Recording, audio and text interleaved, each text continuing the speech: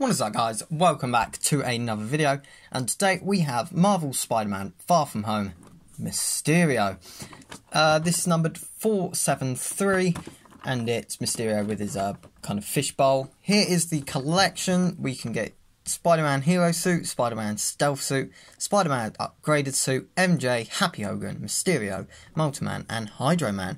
So this is off the newest movie out of the MCU. I love the movie. Tell me in the comments down below what you thought of the movie. And let's get this Funko Pop open.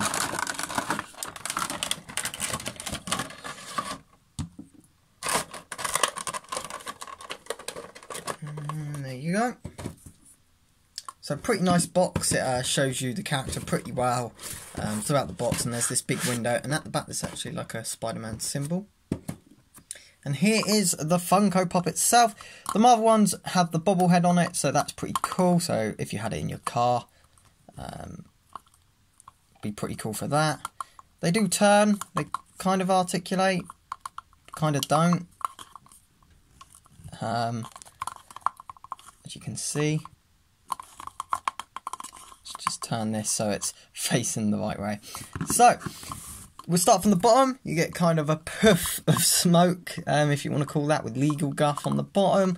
Um, so this is like kind of showing you uh, the magical kind of Mysterio kind of uh, effect. It's not glow in the dark. It does look glow in the dark. You also get on the hands these translucent eyepieces. Uh, look like Illuminati. Um, but uh, yeah, they're pretty cool. Um, they feel like they could easily fall off, but uh, I'm not going to try and pull them off. You get this awesome cape, and that's one of my favourite things about this figure. And uh, the cape's got paint details on it with the blue kind of tech and the uh, older green kind of uh, symbols and stuff. Um, and even in the inside of the cape, that kind of technological blue um, goes throughout.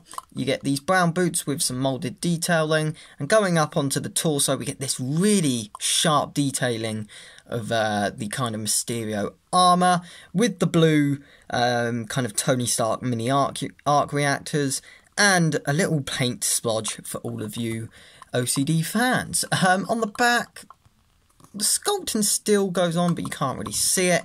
And then you probably get to either your favourite thing or your worst thing is the uh, fishbowl thing. I'm, I'm, i dig it. It's fine. It looks like a bit like a cloud um, or cauliflower, but it's all right. It kind of uh, gives off that Mysterio fishbowl effect. I think they could have done a bit more silvery paint apps on the actual plastic outside bit itself because it's just a bit. It just looks like a cloud in a bowl, in a like a bowl, really. Um, you get this gold brass kind of detailing around the edge, and on his uh, wrist, you get the kind of gauntlet designs on each one. There is a bit of, I think that's glue. Um, see if we can focus on that there. Um, I don't know what that is. I think it's glue. Um, so that detracts from the head a bit. And the back's a bit messy as well. The join line is very noticeable as well with the glue detailing. So really, you just want it like that front on. So, what do I think of this overall? I think it's good. Um, a couple of minor things I would change is probably the head. I don't think it's great, especially with the uh, moulding line there. But apart from that, I think it's pretty worthy of the Funko Pop name.